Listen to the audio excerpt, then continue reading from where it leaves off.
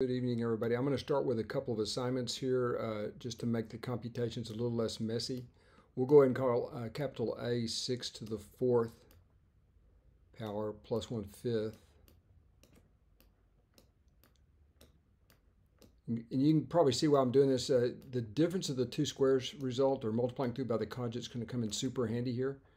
Uh, let's do B equals to 6 to the fourth minus 1 fifth.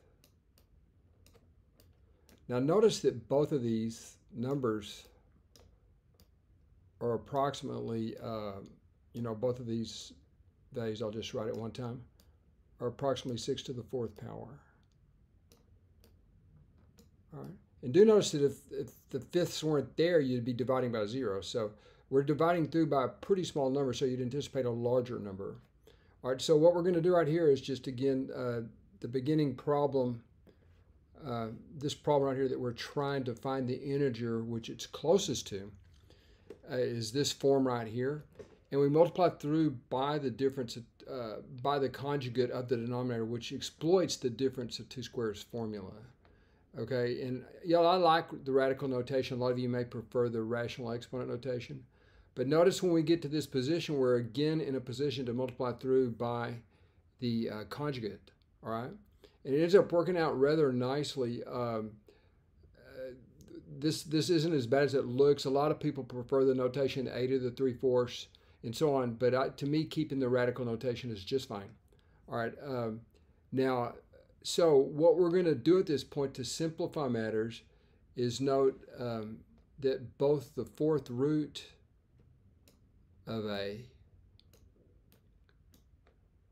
uh, we're going to approximate that by 6.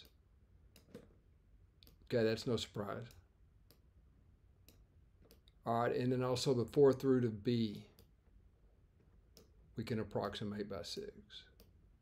Now, i will be the first to say this isn't rigorous, but they're very close, right? 6 to the fourth is a huge number compared to 1 fifth. Likewise, over here, we're 6 to the fourth minus 1 fifth. So we're approximating both fourth roots. Um, uh, sorry, this is B. My bad. Let me erase that.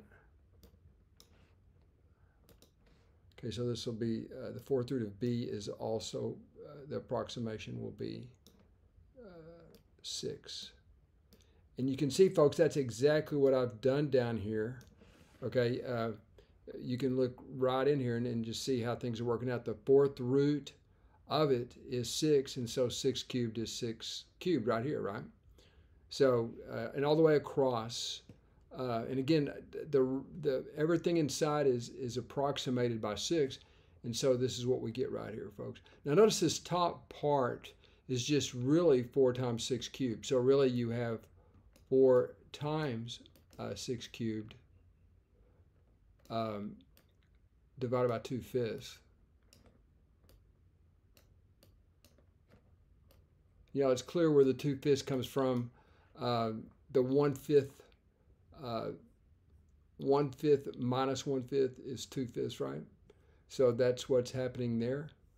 And then uh, what we have here would just be, if you want to do the calculations, this would be the very same thing as 5 times uh, 4 times 6 cubed I could have just called that 20, couldn't I? Okay, times 6 cubed uh, divided by 2. All right, folks, and that's pretty easy to see right here. This would actually be 10 times 6 cubed, but 6 cubed is 216. So you see we get 2160 as an approximation by making uh, this um, approximation for the fourth root of each of the quantities. Okay, so that does it, folks. Again, I'm not claiming it's rigorous. Uh, about all I can say that we know about this thing is that um, the the floor of this expression could be uh, 2159 or 2160. There's nothing I've done or shown that would indicate which what what what the floor would actually be of this expression. Okay, so but anyway, 2160 would be is definitely the decimal.